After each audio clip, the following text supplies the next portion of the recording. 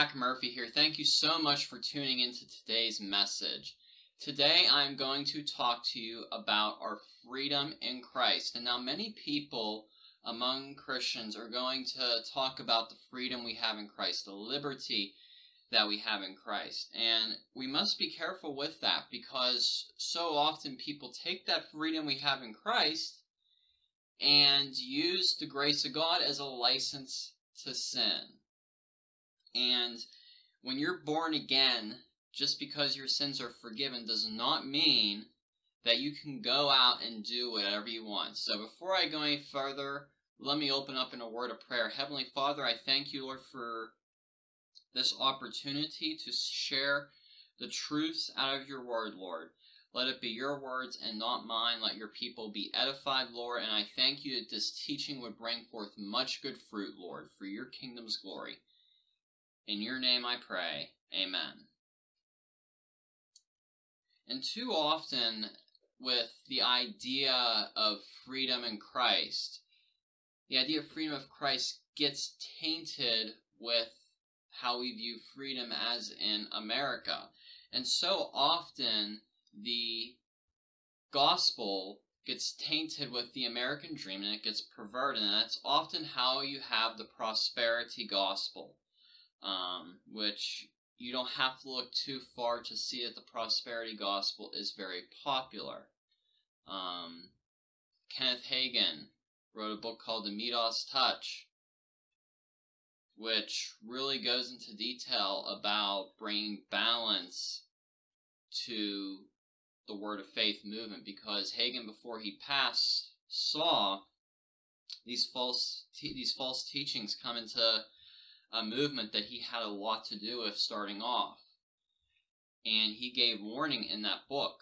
And he went to some of those teachers and said, if you don't stop teaching us, I'm releasing this book. And he released it. And sadly, that book is not as popular as it should be today.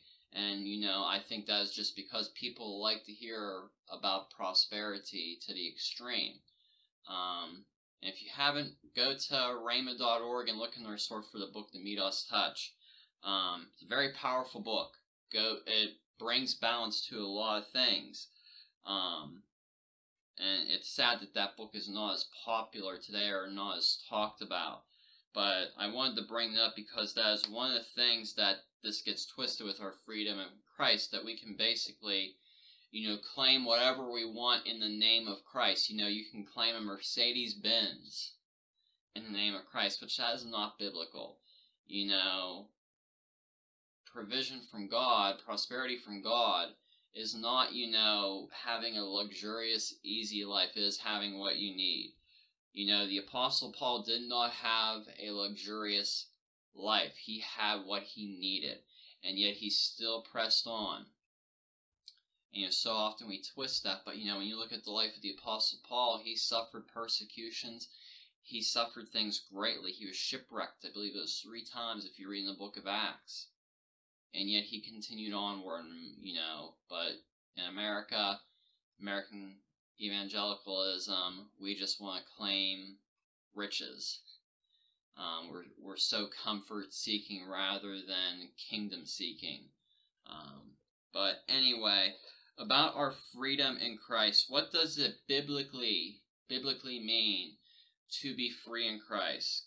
First is Galatians chapter 5 verse 1 which tells us, "It was for freedom that Christ set us free. Therefore keep standing firm and do not be subject again to the yoke of slavery." What is the yoke of slavery? Sin, the sin nature that we inherit from Adam. It don't matter whether you were baptized as a baby or not, you still have inherited the sin nature from Adam. And that nature inside you does not change unless, number one, you were born again, repent and believe in Jesus Christ. Be filled with the Spirit. And you know, it's an ongoing process of sanctification. And you know, that's why Paul warns it was for freedom Christ has set us free, and he also warns, do not get subject again to the yoke of slavery. Don't, you know, be unequally yoked with things. Don't yoke up with things that are of the world. Don't put yourself in bondage to the things that can lead you back into slavery to sin. And you know, we really need discernment in our lives so we don't end up back in bondage to something because it is possible for that to happen. Um, you know, some people think, you know, when you're born again, it's just easy. You don't have to worry about anything. You can do as you please. But, you know, if you live that mentality, you're going to open up the door for the devil to really work in your life. Um, John chapter 8, verse 34 tells us Jesus answered them, Truly I say to you, everyone who commits sin is a slave to sin. If you commit sin, you're a slave to sin. If you commit sin of an addiction, to say alcohol, you're an alcoholic, you're a slave to that. Pornography, a slave to pornography. Adultery, same thing. Fornication. It doesn't matter. If you are in a habitual sin, you are a slave to that, and you need to go to Christ because the anointing of Christ, the power of Jesus Christ from what he did 2,000 years ago on the cross and the resurrection and his ascension is powerful enough to break that yoke of bondage, and you have to trust in that. And you know, when you get set free from that, you know, you just don't go on your merry way and, you know, go in cruise control of your life. You know, you have to get the word into you. Jesus says in the Gospels, I forget which Gospel is, but when a demon leaves a person, the demon goes in dry places and then tries to find a place, and he goes back to where he came because the house is empty, and what he does is the demon brings more demons. So you know you gotta fill yourself up with the Word of God so that these things can't come back in after you're set free.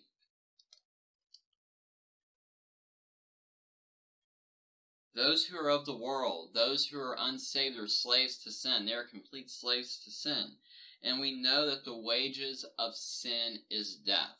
Sin has to be paid for either through Christ if you're born again, or if you're not born again, it's going to be paid through death which is eternity in the lake of fire. John chapter 8 verses 35 to 36 tell us the slave does not remain in the house forever. The son does remain forever. So if the son makes you free, you are free indeed. As part of our freedom in Christ, we become children of God. And we are free because of what the only begotten Son of God has done for us. I want to read to you John chapter 1 verse 12 from the Young's literal translation. But as many did receive him, to them he gave the authority to become sons of God to those believing in his name. You know, if we're born again, we have to really renew our minds. Renew our minds on what the Word of God says that we are free in Christ from the bondage of sin. And once you realize that you are free from the bondage of sin, it is going to be very hard for you to fall into habitual sin. It's going to be hard for you to fall back into that. If you keep training your mind, filling your mind with the Word of God, and let the Word of God dictate your mindset rather than your emotions, rather than what the news media is telling you or what you see your friends doing on social media, if you let that fill your mind over time, you're going to see less and less of a desire for sin, and you will not be slipping up into these habits. And it's an ongoing process. And this is where sonship, as I have done a few teachings on, comes to place. It has to do with maturity in the faith. And you know, as you dwell with Christ, as you abide with Christ, and let His Word fill you up every day, the more levels of freedom you can walk in in Christ from sin.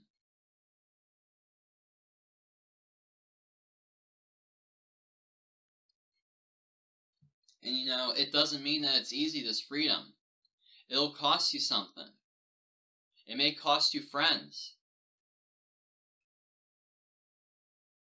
In fact, you know, you may have to change your job. Some people. You know, forsaking sin for Christ costs you something. The Apostle Paul could have neglected the call of God when he was called to repent and believe in Christ on the road to Damascus. But he was obedient there. He was changed right there. And it cost him, leaving a position of authority from persecuting Christians to becoming one of those that is persecuted. The more we grow in the truth of the Word of God, the more levels of freedom we can walk in, in our lives. There is, of course, an initial freedom when we get born again. And, you know, when someone gets born again, that is the greatest. That is the greatest miracle that there can ever be. A person going from death unto eternal life. That is the greatest miracle. A person being saved off the highway to hell unto the road that leads to life in Christ. Excuse me. John chapter 8 verse 32 tells us, And you will know the truth, and the truth will set you free. Why do you think it's important that our minds are transformed by the Word of God? Why do you think it's important that we are conformed to every word that proceeds from the mouth of God? Because it is the truth, the Word of God. Jesus is the truth. He is the way, the truth, and the light. So if you know the truth, the truth is going to set you free. The more truth you know, the more levels of freedom that you can walk in. This is so powerful here. So powerful here. If you know the truth, and the truth will set you free.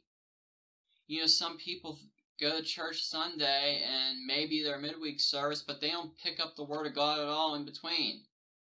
They don't spend time in prayer. And they wonder why they're still stuck in this. You have to come to know the truth, deeper levels of it, and let it change you.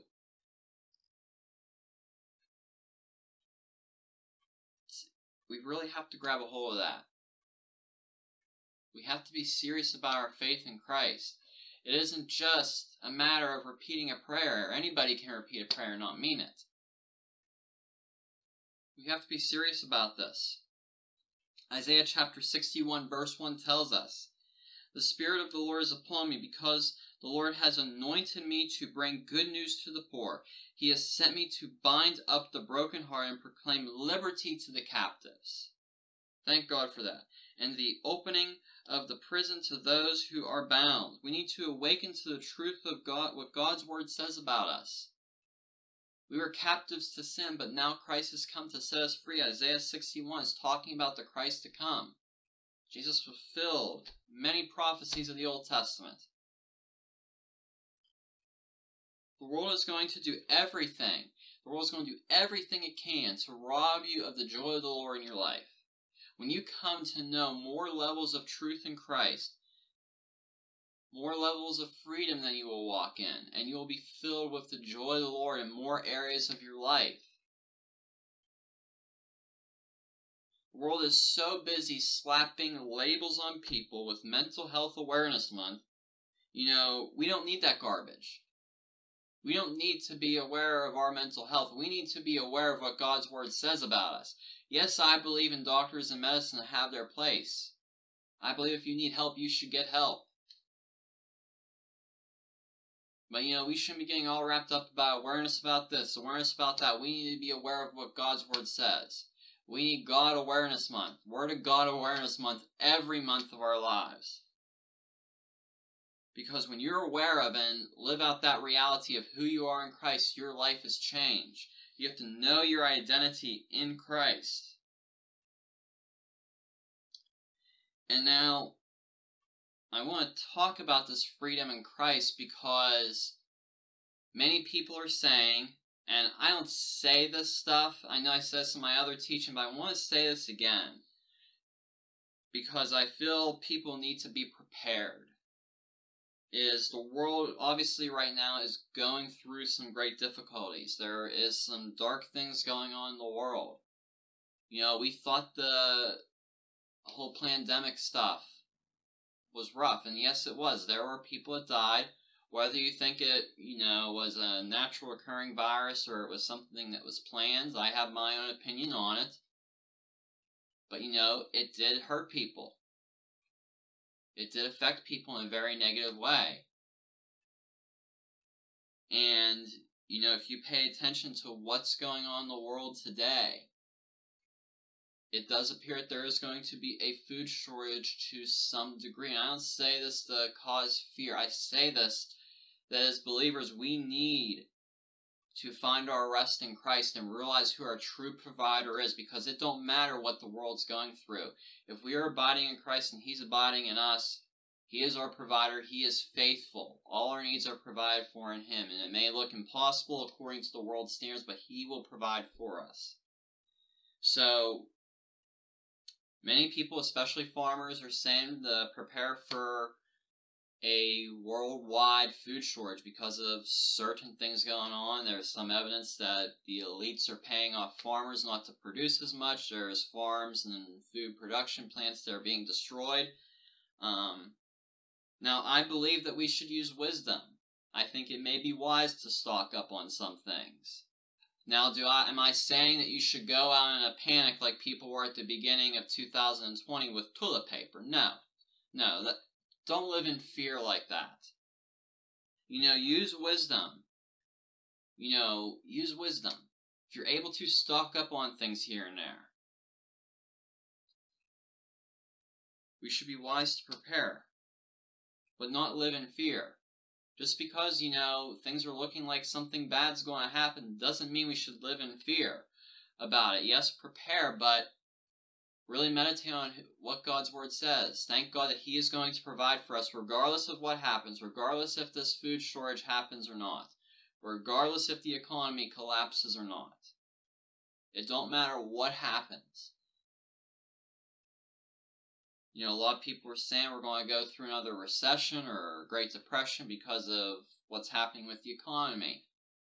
Should you prepare? Should you look at your financial situation and see how prepared you are? Absolutely. You should do that regardless of if things are looking good or bad. You know, we should be good stewards of our money. But don't live in fear about what's going to happen in the next few months on Wall Street. Or if there's going to be a bunch of job losses or whatever's going to happen. God is our provider. At the same time, we should use wisdom in every area of our life. Every day of our life, use wisdom.